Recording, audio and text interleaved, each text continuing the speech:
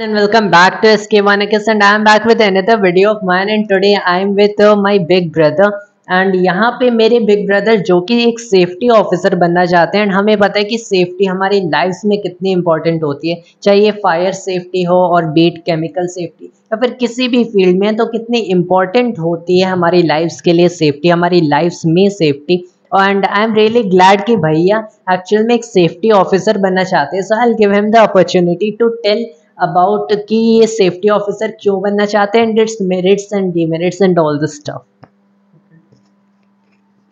So I want to become a safety officer because we know that every year a lot of people died just because of the poor culture of safety, and we know that no one can do about this topic and no one can, uh, no one can focus on this. So as a safety officer, what I want to do that it's my responsibility to protect the uh, uh, protect the employees and the workers from the hazards.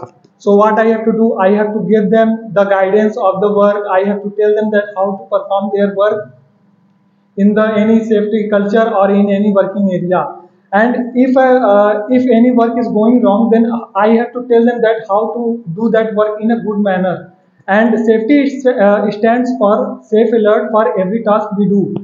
So it means uh, whenever you go for a work, whenever you are going to perform any work, that you have to always remember that safety is important for our life. Because without safety we cannot do anything. Because if we uh, died if we face any accident and if any body is just cut off from our body then what we can do? We can do anything uh, we cannot do anything. So uh, just because the safety is important and as a safety officer it's my duty it's my responsibility to save the workers to save the all employees and uh, uh, also uh, put my efforts in growing up the companies or any working place or any area. So that's it is important for our life that safety is a big point in our life